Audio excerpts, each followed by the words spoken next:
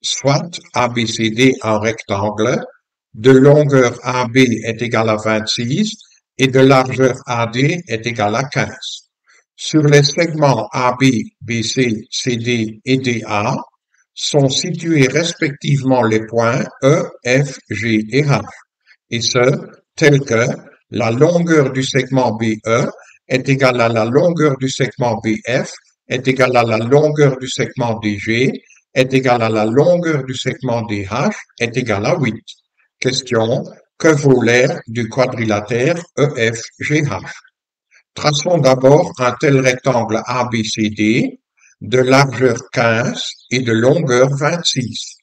Ensuite, nous construisons ces quatre points EFGH de façon à ce que ces quatre segments verts ont tous les quatre comme longueur 8.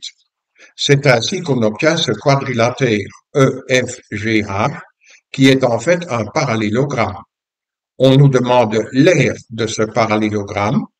Ici, nous n'allons pas appliquer base fois hauteur, mais nous allons calculer l'aire du rectangle moins l'aire de ce triangle DHG moins l'aire de ce triangle EBF moins l'aire de ce triangle HAE moins l'aire de ce triangle FCG.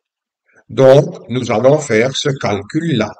L'aire du parallélogramme est égale à l'aire du rectangle, moins deux fois l'aire de ce triangle-là, parce que cette aire figure aussi ici, moins deux fois l'aire de ce triangle-là, parce que cette aire se trouve également là.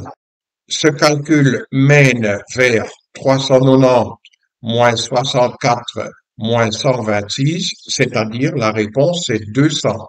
Donc c'est B la bonne réponse. Nous résolvons la tâche suivante lors du tutoriel suivant.